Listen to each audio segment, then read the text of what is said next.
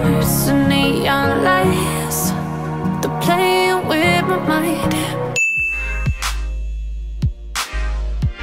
Hi guys! Welcome back to my YouTube channel and welcome to Peel Dada Vlog. Lately kasi guys, wala akong ginagawa sa bahay. So aside from my um, skeletal schedule sa office ko, most of the times nasa bahay lang talaga ako. And you know, when you're home, you have nothing to do but watching Netflix and all that. So lately, na-addict ako or na-hook ako doon sa YouTube channel ng isang um, makeup artist na hindi ko siya kilala. Pero nag-pop up na lang siya sa screen ko and then uh, nasundan ko lahat, na-review ko lahat yung mga episodes niya and sikat pala siya talaga ng makeup artist sa Korea. And I found out also, he is actually a Filipino but he's based in Korea because he's very fluent in uh, Korean language. But at the same time, he's very fluent in English kasi tumira pala siya sa San Diego, uh, California, like that. So, na-inspire ulit ako or na-inspire ulit ako na pakialaman yung mga dati kong makeup. As you know guys, uh, before the pandemic, nagme-makeup ako or before the pandemic, nag-aral ako ng makeup. Parang naabutan ng pandemic, kaya ayun, nakaset aside lang siya sa isang corner sa bahay ko. If you remember guys, I did the makeup of Robbie Domingo. Dahil ng tanong, eh, eh, eh, hindi ko alam pang face eh. Nagulat ako. Oh, paano Robbie? Yes po, yes po. I'll see you February. I did the makeup of hashtag Wilbert.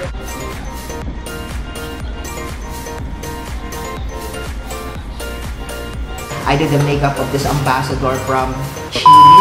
I'm not sure guys ha. And also this controversial transgender na nag-guest ni Sir Boy sa bottom line. For today's episode guys, I think more or less alam niyo na kung ano yung episode ko today.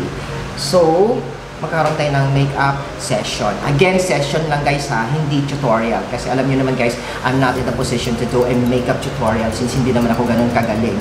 Papagaling pa lang. Charot. My guest for today, he is an aspiring actor. Very fresh ito guys. Ang aking model for today, si Jerby. Hello. O yan, si... How old are you? Um, I'm 18 po. Akala ko sabihin mo, I'm fine, thank you. Okay. so for today's makeup, ano, uh, Jerby, it's just a light makeup. Parang parang uh, day-to-day lang or parang pagpupunta ka sa grocery, talagang nag-grocery, nag-makeup ang lalaki. Charot. So parang, ang makeup na gagawin ko sa kanya is very light lang kasi since uh, parang re-refresh ko lang yung knowledge ko sa makeup, so parang pa-cute lang na makeup. Okay guys, so let's start. Gusto ko pa ng pasalamatan guys ang ating kaibigan na nasa Japan, si Bim Bim, for allowing me to do the makeup session here sa kanyang building. Ayan, mayaman si Bim ha. May building siya. At saka si Ferdy na inasikaso kami talaga. Thank you so much. So, first, applyan natin siya ng toner para linisin lang natin yung mga uh, excess na dumi sa mukha niya. So, you're still ano studying now? Yes po, grade 12 STEM student po ng Our Lady of Fatima University sa Antipolo po. Okay. Tapos online, di ba? Kasi Yes, online po. ngayon. Ano po? My God, sandali lang ha. Someone's calling. Kasi syempre, grab po siya tumatawag. Kasi syempre, kailangan pakainin natin yung model. Hello? So, after natin siya linagyan ng toner, guys, lalagyan siya ng moisturizer. I'm using this moisturizer, guys. This is available sa lahat ng Watson. This is very affordable. This is a Korean product. And I super like it. Kasi, personally, ito yung ginagamit ko talaga, guys.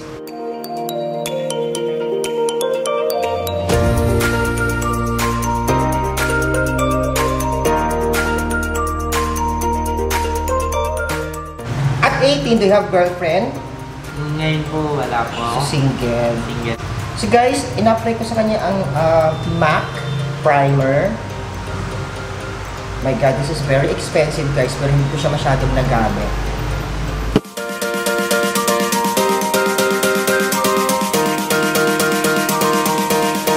Guys, dapat habang minimake pa natin siya or pina, uh, nilalagyan natin siya ng uh, skincare, dapat lalagyan mo natin yung kanyang lips ng moisturizer.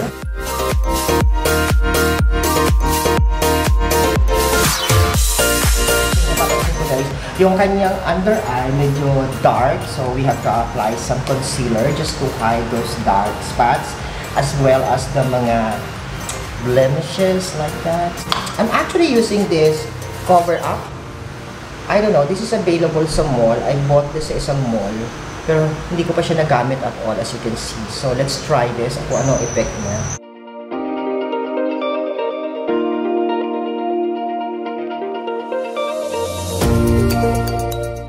Si Jerby in person guys, ah, may pagka-moreno siya, medyo dark siya. Typical dark na Pinoy talaga. Pinoy. yeah. So for the foundation guys, I'm using um, Makeup Forever HD.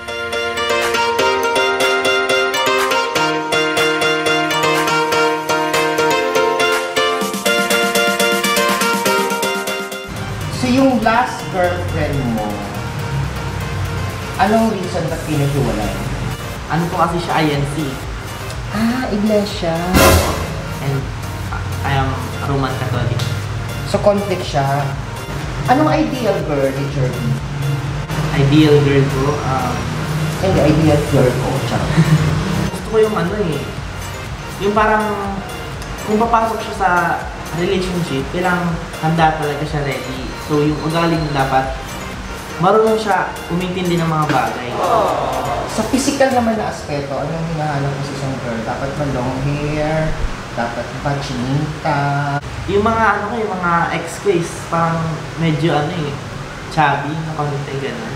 Ah, so mahilig ka sa chubby.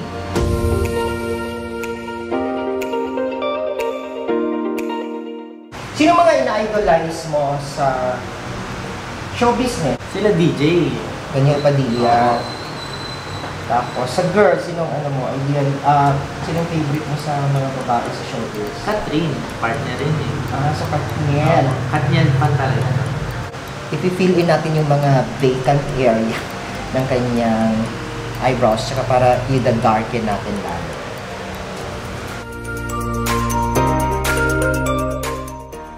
So after fixing his eyebrows, nilalagyan ko siya ng contour sa kanyang forehead area kasi kung napapansin nyo guys, medyo mahaba ang kanyang hairline. So to cover that up, kailangan nating dayain by applying contour.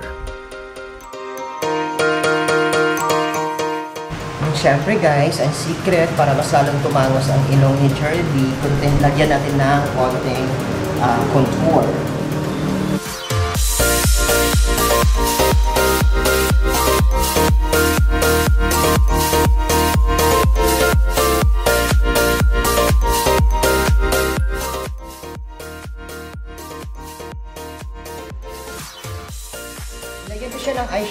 Guys kasi para lang lalabas yung ah, panlalaki na kulay ng kanyang eyeshadow guys na medyo dark color.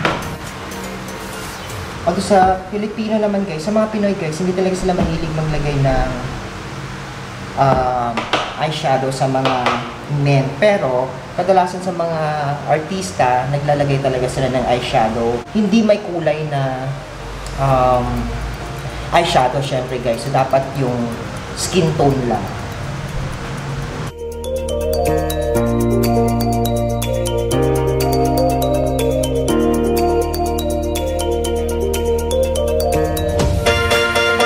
finishing touches guys, ginamitan ko siya ng englot. My God, guys, ang mahal ng englot. This is like 3,000 pesos. At ngayon ko lang siya ginamit. Kaloka.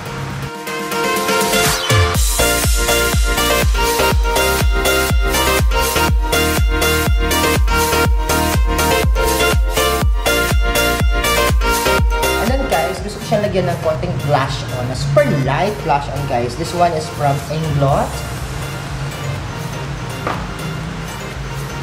Wow, vlogger. Hindi siya masyadong nagkukulay. Pero meron pa rin siyang kulay.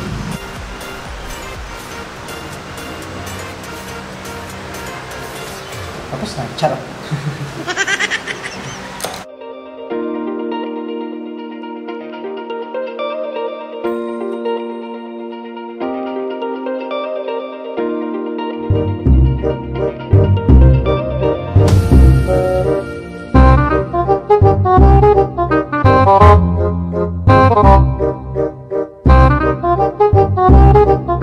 So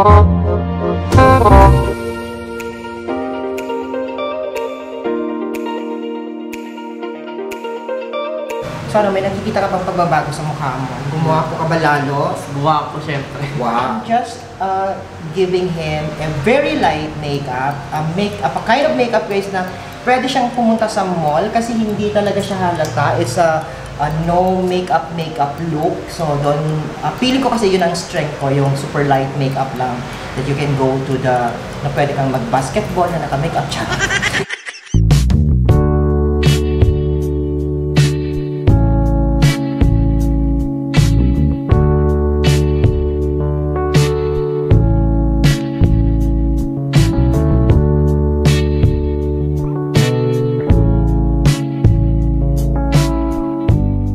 So there you have it guys. That's my uh, makeup session for today with my model, si Cherby.